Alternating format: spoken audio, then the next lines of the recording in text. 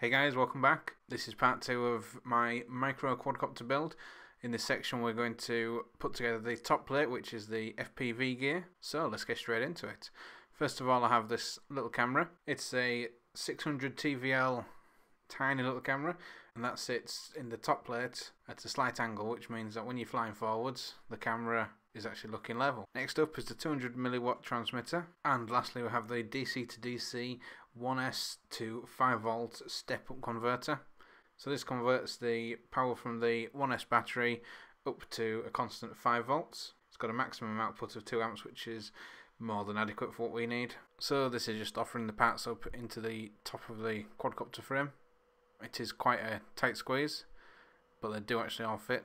For soldering all this together I'll probably just use the cable that comes with the camera, use the excess from that just to connect it all together. Okay, so I've trimmed the leads on the camera down. They're now the uh, roughly the appropriate length. So I'm just going to tin them quickly.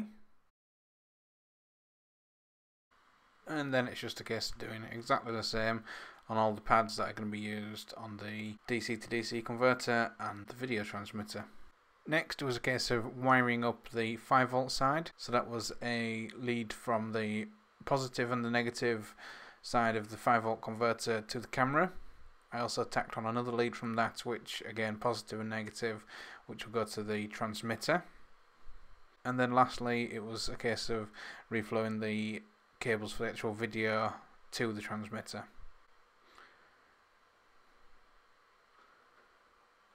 I've sped a lot of this up and chopped some of it out because it was quite fiddly. Um, it's quite fiddly and I couldn't really do it on camera due to that. So once that is complete, that is the 5 volt side already done. It's just a case of then making sure it fits in the top plate. So this is just some close-up shots of how I've arranged it in the top plate I'm using. Hopefully it'll help if you decide to wire it up the same.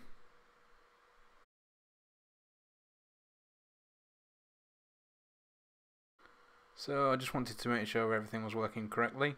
So what I've done here is tack on a couple of wires through to just a little battery box I've, I've 3D printed. Inside that is just a single LiPo cell. So that's immediately powered everything up and that's just been received by my monitor. So, all looking great.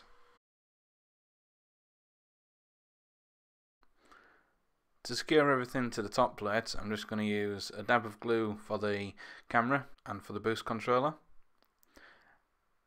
And then I'm just going to use some double-sided foam for the transmitter.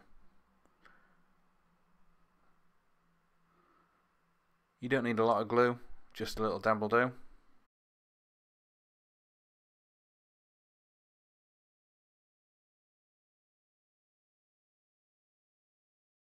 I also put a little bit of glue just where I'd soldered the two wires onto the 5 volt output.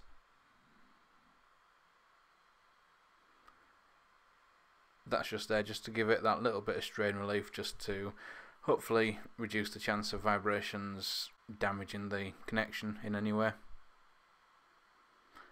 It's not imperative but it was so easy to do. Thought why not? You can also see here I've soldered on a tiny little bit of copper for an antenna.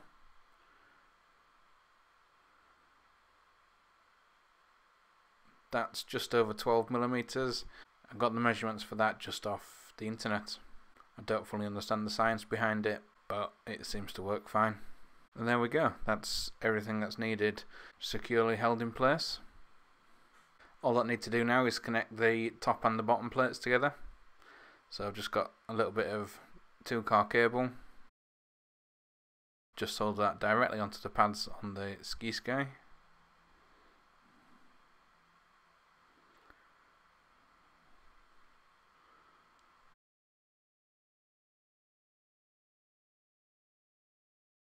Cut it to the right length and then solder onto the input side of the DC to DC converter.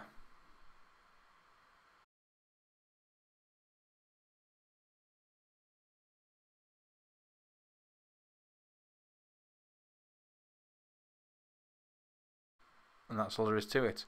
Then just put the top plate on top of the bottom plate. I'll just put a pair of 3mm bolts through and use the top plate for the battery this time.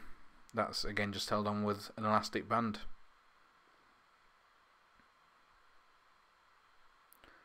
So ready to fly including the battery.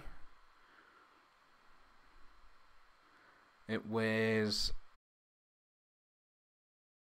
55.4 grams. There we go. That's it complete, ready to fly. So, let's actually go fly it. Okay, so flying this in not ideal conditions. It's a very long, narrow, very solid room. Did cause the video signal to bounce around quite a bit, cause a bit of interference. So initial impressions, it hasn't changed the flight characteristics a huge amount, adding the extra weight. The yaw is fairly unimpressive to be honest. I think I need to sort that within Cleanflight. Unfortunately I didn't really get much chance to fly. I did get unlucky in one of my crashes fairly early on.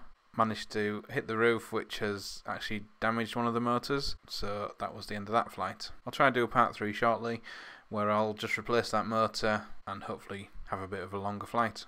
I will say I'm fairly impressed with the video transmitter and the camera and I guess the, the DC to DC step up converter. They're all performing perfectly fine. The camera I think looks great for such a, a tiny size and the rest of the components are all doing exactly as I would expect really.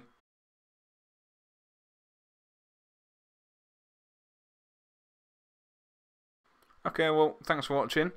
Check back for part 3 shortly. Don't forget to like and subscribe.